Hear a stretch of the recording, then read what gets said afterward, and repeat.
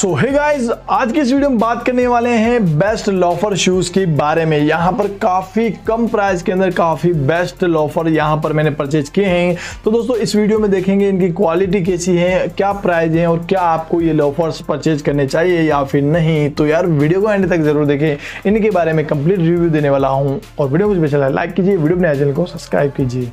So guys यहाँ पर box को अनबॉक्स करते हैं और देखते हैं कैसे कलर में देखने को मिलते हैं और कैसी प्राइस देखने को मिलती है और कैसी इसकी क्वालिटी देखने को मिलती है। तो दोस्तों बॉक्स को अनबॉक्स करते हैं।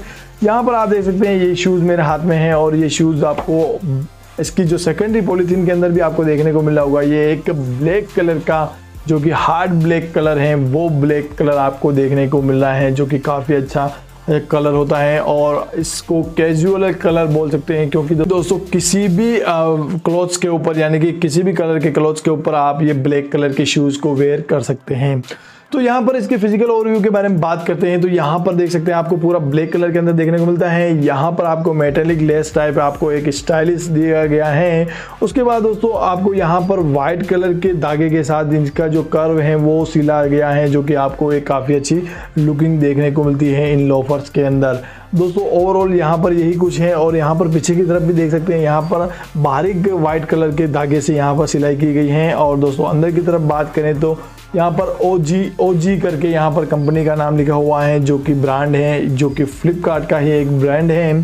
उसके बाद दोस्तों, अगर तलवे की बात करें अंदर की तरफ़ तो दोस्तों, यहाँ पर एक सॉफ्ट थर्माकोल यहाँ पर यूज़ किया गया है अंदर की तरफ़, और अंदर की तरफ़ भी आपको काफ़ी अच्छी सिलाई देखने को मिलती है, जो कि आपके जो अंदर के तलवे होते हैं, वो पैर गीला होने की वजह से या फिर स्वेलिंग की वजह से, पसीने की वजह से आपके जो तलवा होता है, वो बाहर आ जाता है। जब भी आप शूज़ को खोलते हैं तब तो दोस्तों, ऐसी प्रॉब्लम इस शूज़ में देखने को नहीं मिलेगी आपको।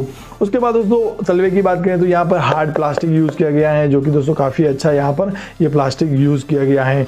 बस दोस्तों, बात करते हैं इसके मटेरियल के बारे में कि इसमें कौन सा मटेरियल यूज़ किया गया है और आफ्टर यूज़ के बाद आप को कैसे कंफर्टेबल फील होगा या फिर नहीं। तो दोस्तों, इसमें जो मटेरियल यूज़ किया गया है, पूरे शूज़ के अंदर तलवे को छोड़कर, और तो इसमें पूरा का पूरा रेगजिन यूज़ किया गया है, जो कि दोस्तों, यहाँ पर बाहर की तरफ़ काफ़ी अच्छा रेगजिन यूज़ किया गया है।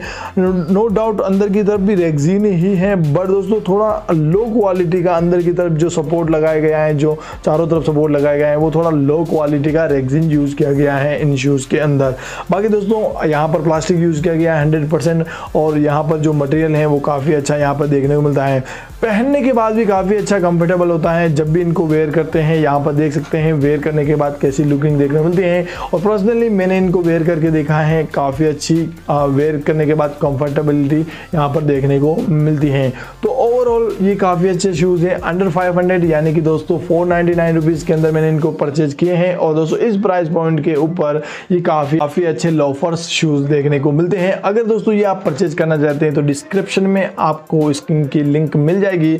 वहाँ से आप डायरेक्टली परचेज कर सकते हैं। बाकी दोस्तों, इन फ्लिप फ्लॉप्स के बारे में आपकी क्या ओपिनियन है, नीचे कमेंट बॉक्स में बताना मत भूलिए। और वीडियो में कुछ भी अच्छा लगा तो लाइक कीजिए वीडियो बनाए चैनल को सब्सक्राइब कीजिए। वीडियो देखने के लिए थैंक यू